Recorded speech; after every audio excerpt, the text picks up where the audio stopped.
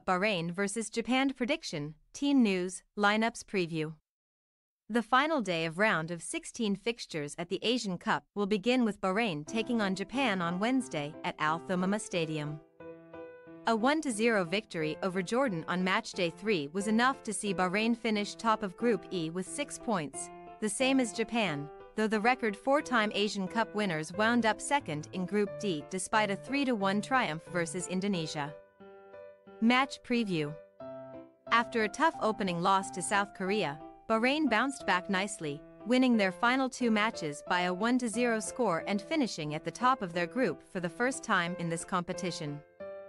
It is a big contrast from what Juan Antonio Pizzi's men showed us in their games leading up to this tournament, losing their final two preparatory matches 2-0 both times.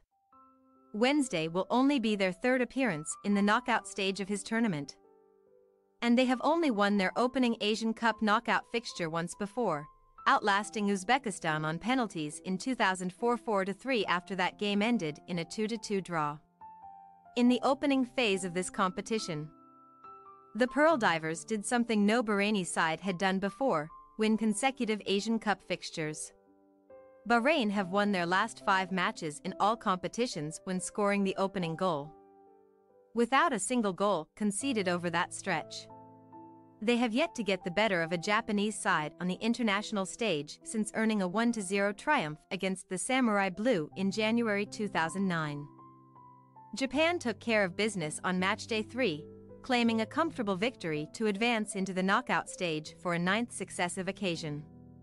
Although they conceded to the Indonesians on their only effort on target.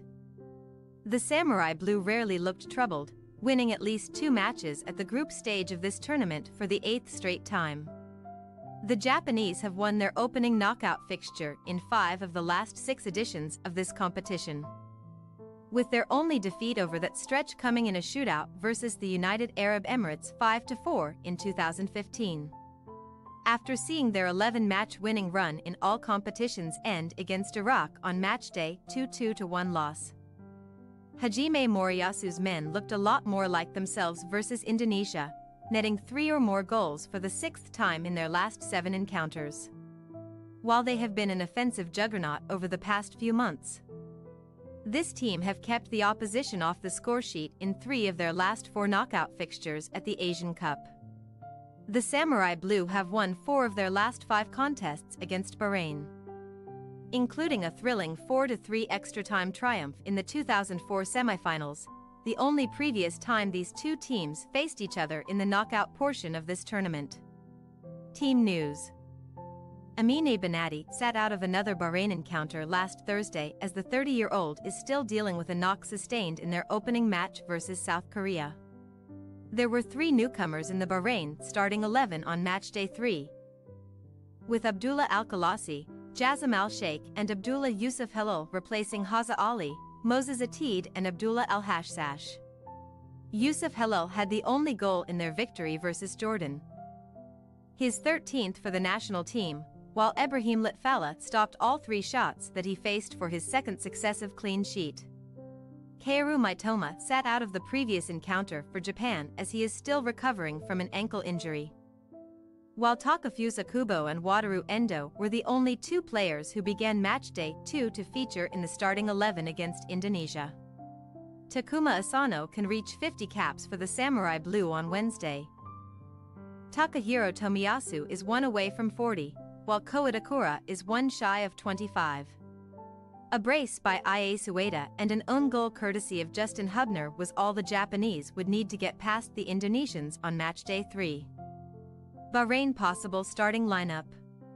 Lutfalla, Adel, Bakr, Al-Hayam, Ali, Al-Sheikh, Al-Wali, Madan, Al-Aswad, Marhoun, Yusuf Helal. Japan possible starting lineup. Suzuki, Sugawara, Itakura, Tomiyasu, H. Ito, oh, Endo, Morita, J. Ito, oh, Kubo, Minamino, Ueda. We say, Bahrain 1 to 4 Japan. Japan may not have been as convincing as we had expected in the opening phase of this tournament.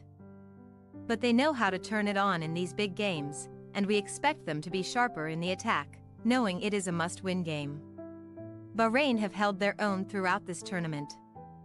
but their lack of experience in these big matches will make it difficult for them to stay with a side who possess numerous attacking options. Thanks for your watching, don't forget to click the subscribed button and hit the bell icon for more.